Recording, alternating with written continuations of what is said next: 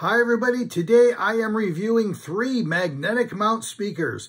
They can be used on the golf course or the job site. We have the Magolfin F30, the Pilsamus CYB X3S, and the Shellhome SP003.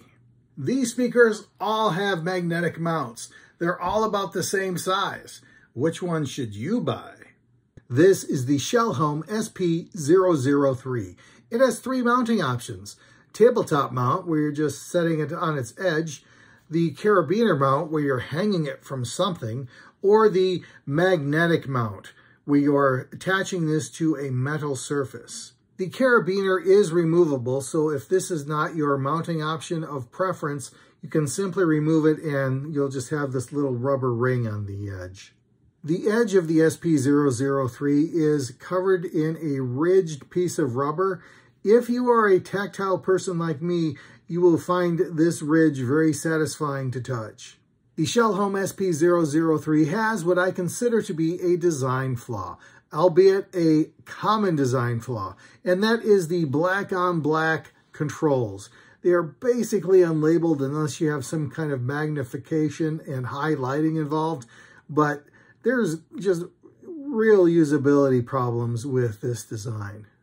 This speaker has dual 10 watt 40 millimeter drivers for a total of 20 watts.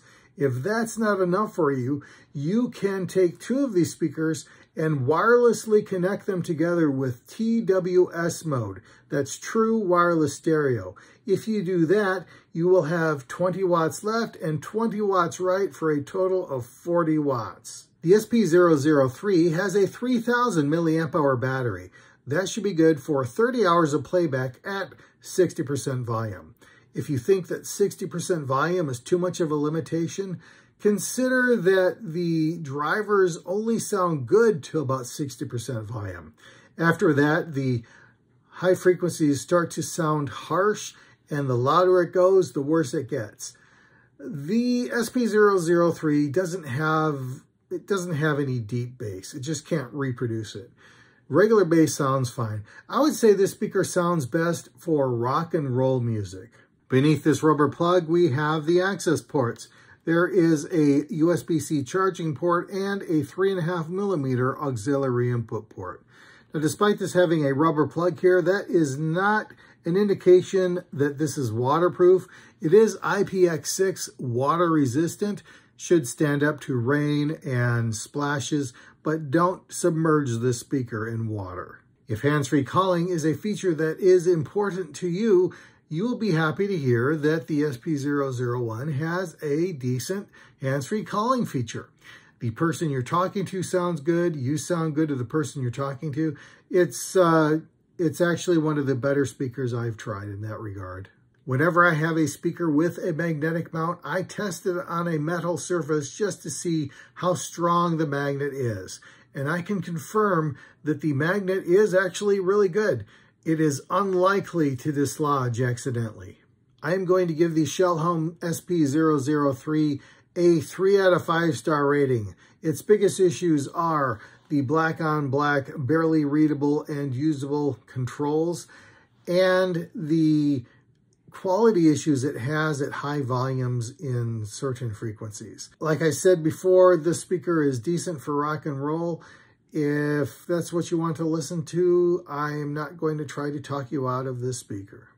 This is the Pilsamus CYB X3S, and it is a rugged speaker. We have a metal speaker grill surrounded by a high-impact plastic frame and wrapped in an edge of cushioning rubber. On one edge, we have a zinc metal alloy ring.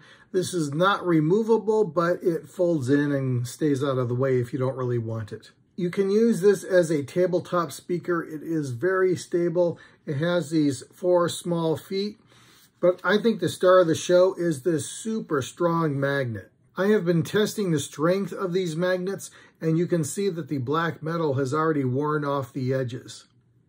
This is a very strong magnet, perhaps one of the strongest I've seen in the industry. It will not dislodge accidentally. Behind this rear access panel, we have all of the external ports. there is a 3.5 millimeter auxiliary input port, a TF card slot, and a USB-C charging port. If you see a rubber plug covering the external ports, you might ask yourself, is this speaker waterproof? And it is. This is IPX7 waterproof. And what that means is that you could submerge this speaker at a depth of three feet for 30 minutes. And whenever a speaker makes that claim, I do test it myself.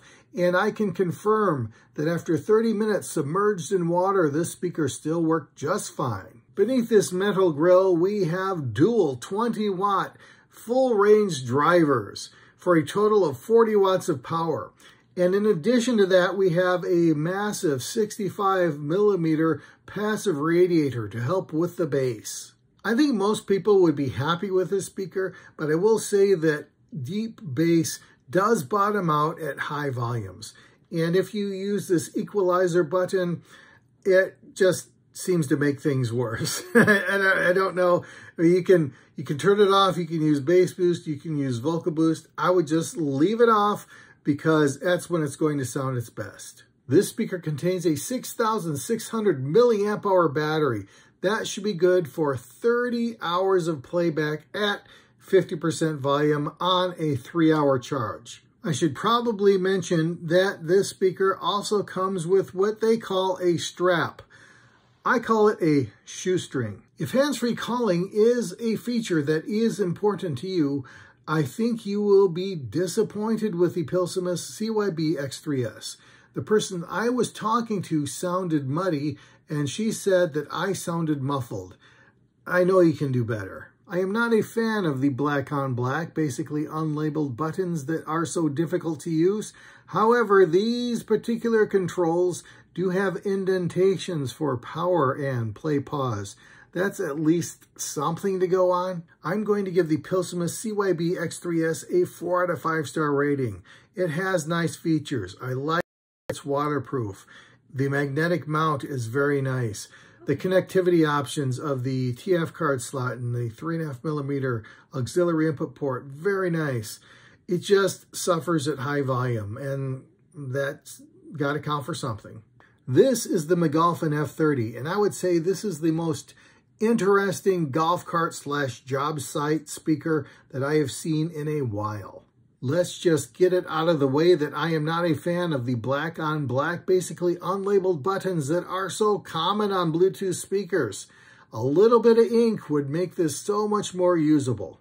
The F30 is very rugged and built to last. It's made out of high impact plastic and metal. Under this rubber panel, we have the external access ports, 3.5 millimeter auxiliary input, USB-C charging port, and TF card slot. As you might have guessed, the Magolfin F30 is IPX7 waterproof.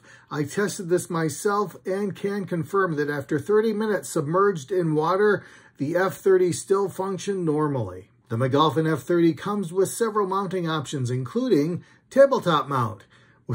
Basically, you can set this on top of a table on these tiny feet. The next mounting option is the carabiner mount.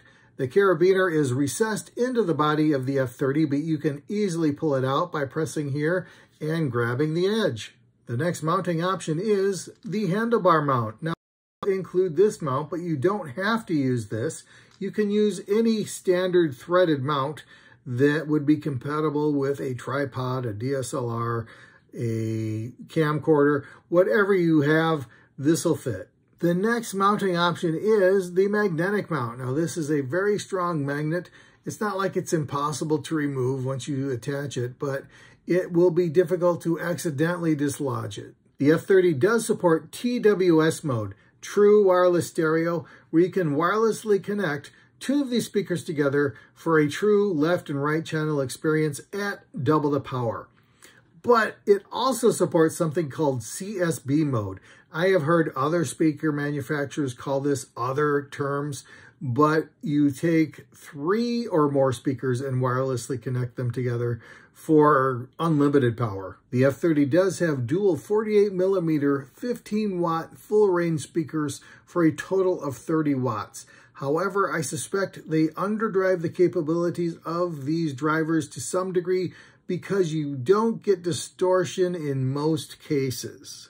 You may experience distortion if you are listening to music with deep bass and you have the extended bass button activated, then it, of course, you're, you're going to run into problems.